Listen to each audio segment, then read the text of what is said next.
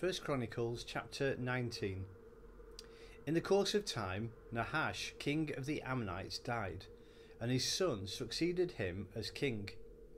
David thought, I will show kindness to Hanun, son of Nahash, because his father showed kindness to me.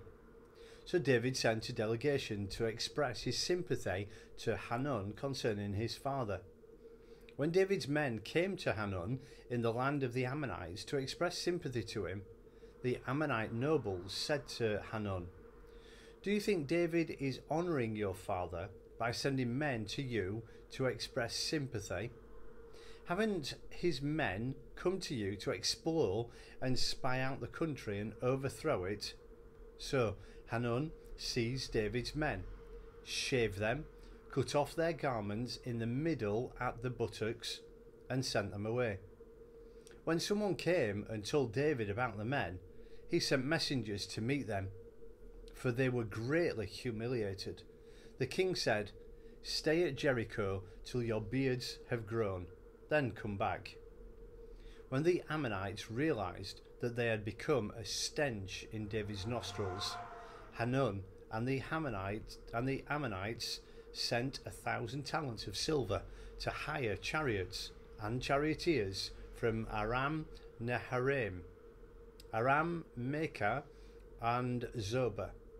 They hired 32,000 chariots and charioteers, as well as the king of Maacah with his troops, who came and camped near Medeba, Medeba, while the Ammonites were mustered from their towns and moved out for battle. On hearing this, David sent Joab out with his entire army of fighting men. The Ammonites came out and drew up in battle formation at the entrance to the city, while the king who had come were by themselves in the open country. Joab saw that there were battle lines in front of him and behind him, so he selected some of the best troops in Israel and deployed them against the Am- Arameans.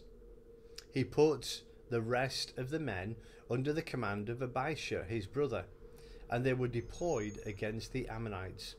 Joab said, If the Arameans are too strong for me, then you are to rescue me. But if the Ammonites are too strong for you, then I will rescue you. Be strong and let us fight bravely for our people and our cities of our God. The Lord will do what is good in his sight.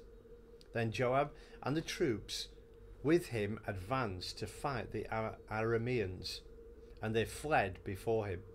When the Ammonites saw that the Arameans were fleeing, they too fled before his brother Abishai and went inside the city. So Joab went back to Jerusalem.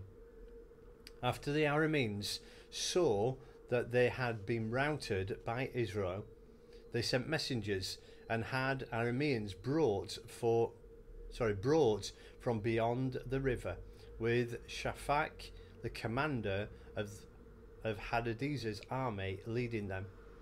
When David was told of this, he gathered all Israel and crossed the Jordan. He advanced against them and formed his battle lines opposite them. David formed his lines, lines to meet the Arameans in battle, and they fought against him. But they fled before Israel, and David killed 7,000 of their charioteers and 4,000 of their foot soldiers. He also killed Shophak, the commander of their army.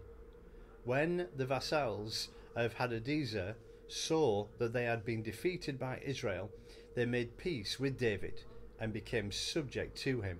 So the Arameans were not willing to help the Ammonites anymore.